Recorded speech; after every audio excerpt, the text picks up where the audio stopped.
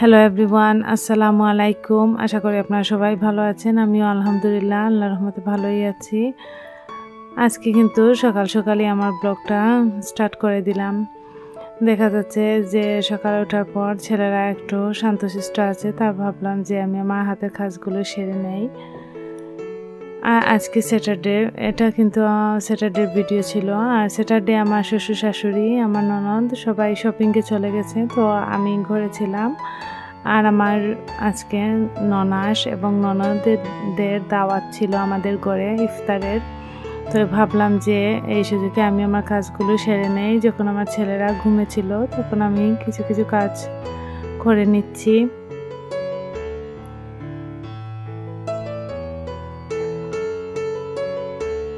আজকে আমার মেয়েরাও কিন্তু দুষ্টামি একটু কমই করছিল, কারণ ওরা ওদের বাবার সাথে কিন্তু বাহিরে গিয়েছিল আর তো ড্রিঙ্কস নিয়ে, মিল্কশেক নিয়ে এসেছে, তো ওগুলো খাচ্ছে।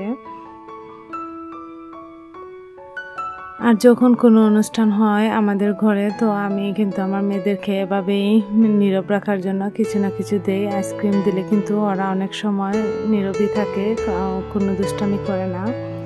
আর অনেকেই বলে যে বাচ্চাদের নিয়ে কাজ করা সম্ভব হয় না। আসলে সম্ভব হয় যদি আমরা বাচ্চাদেরকে একটু কিছু দিয়ে, একটু সময় বাচ্চারা যখন দেখব শান্তশিষ্ট আসছে আছে, তখন কিন্তু কিছু কিছু করে কিন্তু কাজটা করা যায়। আর করা যায় না যে একেবারে তা না। তারপরেও কিন্তু বাচ্চাদেরকে খুশি রেখে কিন্তু অনেক কাজই করা যায়। শুধু এটাই ডিফারেন্ট যে, একসাথে যে কাজটা করতে পারি আমরা, সেটা কিন্তু একটু টাইম নিয়ে করতে হয়, এটাই।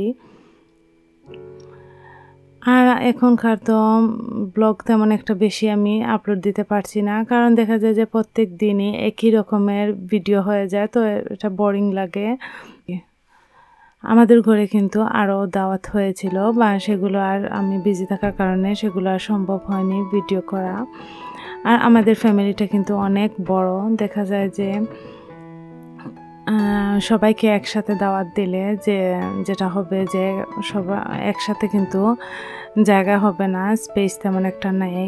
তার জন্য কিন্তু বারে বারে করেই দাওয়াত দিতে হচ্ছে। তো ভালোই লাগছে। সবাই যখন ইফতারের জন্য আসে, আসলে ভালোই লাগে। আর রোজার মাস এলে কিন্তু সব কিছুই বেশি কিন্তু করতে হয়। যেমন ভাজা পোড়াটা আমাদের সবারই ঘরে কিন্তু কম বেশি আমরা সবাই খেয়ে থাকি। আর ভাজা পোড়া না হলে কিন্তু ইফতারটাই ভালোই লাগে না। আর বাংলাদেশে যখন ছিলাম, ওই দিনটা কিন্তু অনেক মিস করি। বাংলাদেশের রোজাটা কিন্তু আরও বেশি সুন্দর মনে হয় আমার কাছে। আমি জানি না কার কাছে কীরকম লাগে। আমার কাছে মনে হয় যে বাংলাদেশের রোজাটা অনেক সুন্দর হয়, কারণ দেখা যায় যে প্রত্যেক দিনই কোথাও না কোথাও যাওয়া হচ্ছে। কেউ না কেউ আসবে, কারও বাসা থেকে বা আমাদের নানা বাড়ি থেকে ইফতারি আসে। তো ওই সব কিছু মিস করি অনেক বেশি।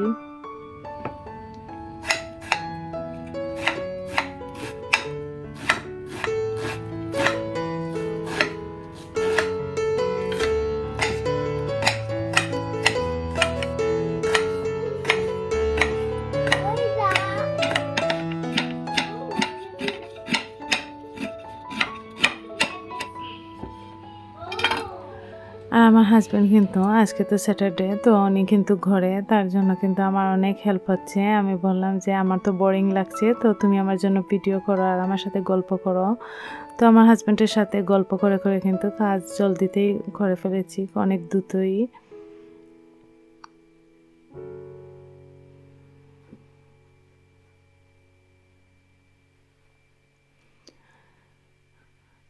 এই কাঁচা ছানাটা কিন্তু আমার শ্বশুরের অনেক ফেভারিট আর আমার শ্বশুর কিন্তু এটা না হলে কিন্তু চলেই না।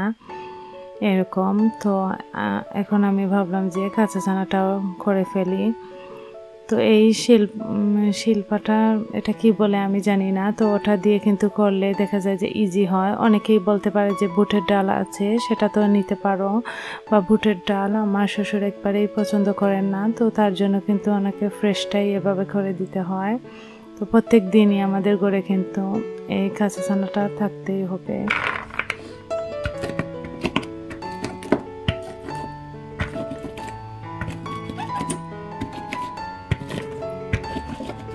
আর আমি কিন্তু আগে তেমন একটা কাঁচা ছানাটা খেতাম না। তারপরে দেখা যাচ্ছে যে বিয়ের পর যখন আমার শ্বশুর বললেন যে, না, এটা খেতে হবে, এখন কিন্তু অল্প করেও খাই, আমার, আমারও ভালোই লাগে। বা প্রত্যেক দিন কিন্তু আর এখন আর ভালো লাগে না, কারণ দেখা যায় যে প্রথম কয়েকটা রোজার মধ্যে অনেক ভালো লাগে। তারপরে কিন্তু সব কিছুই আর ভালো লাগে না, এটা আমার না, সবারই হয়। দেখা যায় যে আমরা সেম খাবারটা কিন্তু বারবারই খাই।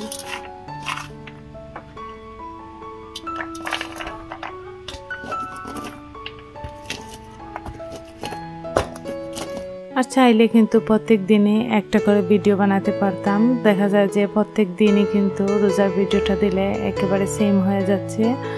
তো তার জন্য আর প্রত্যেক দিন ভিডিও কিন্তু দিচ্ছি না আর ভিডিও করছি না। আর রমজান মাসে কিন্তু তেমন একটা সময় থাকে না যে এভাবে বসে ভিডিও করে।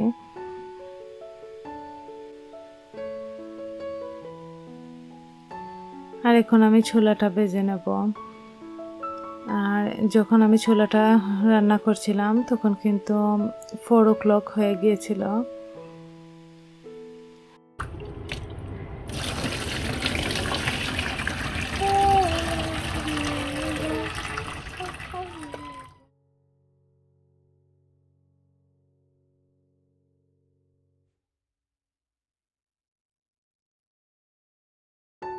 আমি নর্মালি কিন্তু ছোলাটা এভাবেই ভেজে থাকি। পেঁয়াজ কুচি, কাঁচামরিচ কুচি, লবণ, অল্প জিরে গুঁড়ো, ধনে গুঁড়ো দিয়ে দেই। এটা কিন্তু আর রেসিপি আমি ডিটেলসে শেয়ার করলাম না, কারণ দেখা যায় যে রেসিপি শেয়ার করলে ব্লগটা অনেক বড় হয়ে যাবে। আর আগে কিন্তু এই চানাটা কিন্তু একেবারেই আমি পছন্দ করতাম না, কারণ আমরা কালো যে ছোলাটা ছিল, সেটা কিন্তু আমি অনেক পছন্দ করতাম আর বিয়ের পর কিন্তু এটা খেয়ে ইউকেতে আসার পর এখন কিন্তু ভালোই লাগে। আর আমার শ্বশুর কিন্তু নুডলস রান্না করছিলেন, তো আমার শ্বশুর চাচ্ছিলেন উনি নিজে নুডলসটা রান্না করবেন, কারণ উনি উনি ওনার বইতে এটা করছিলেন, তার জন্য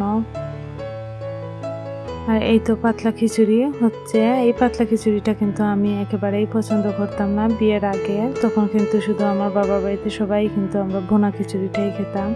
আর এটা বিয়ের পর থেকে খাওয়ার পর তারপরে কিন্তু আমার অনেক ভালো লাগে। আর এই তো সব কিছু ফ্রাই করে নেব। ইফতারের টাইম চলে আসছে কাছাকাছি। আর সব আপুরা কিন্তু চলে এসেছেন।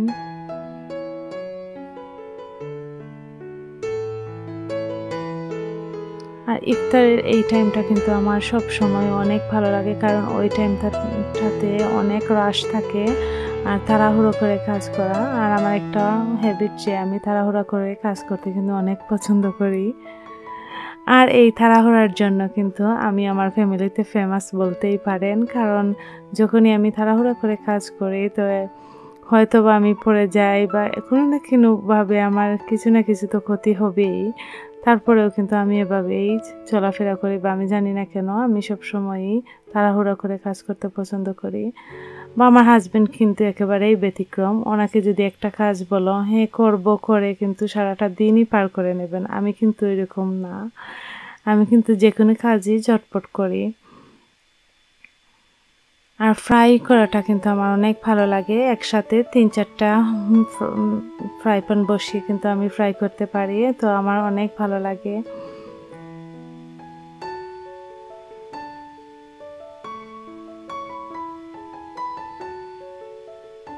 আমার হাজব্যান্ড কিন্তু এখন মেলনটা কাট করছিলেন।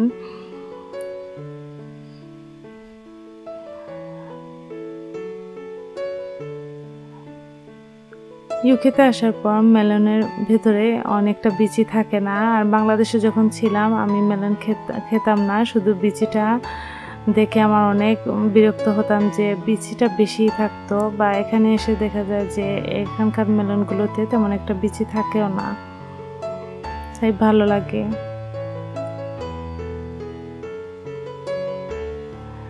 আর যখন এগুলো ভিডিও করছিলাম, তখন কিন্তু এক হাতে ভিডিও করছি আর এক হাতে ফ্রাই করছি, তো আমার ননাস হাসছিলেন বলছিলেন যে ভিডিও করছ? আর আমি বললাম যে হ্যাঁ। তো আপু হাসছিলেন আমার দিকে। আমার বড় ননাস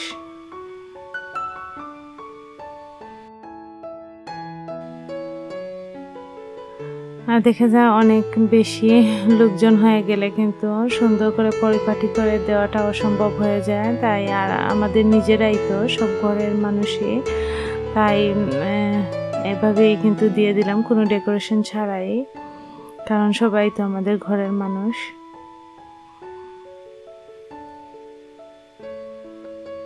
আমার বড় নাস আর আমার শ্বশুর সবার প্লেটে খাবার দিচ্ছিলেন। তো ওই সময়টা কিন্তু অনেক ভালো লাগছিল যে অনেক তাড়াহুড়া করে কিন্তু সবাই কাজ করছিলেন।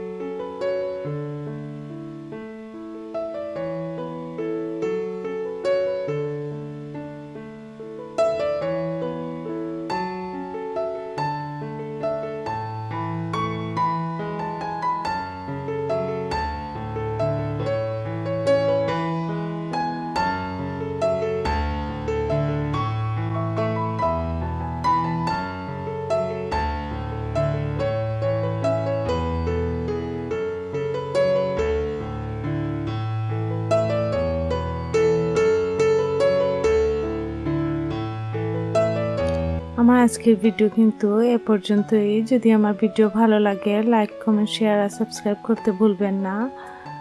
আসসালামু আলাইকুম।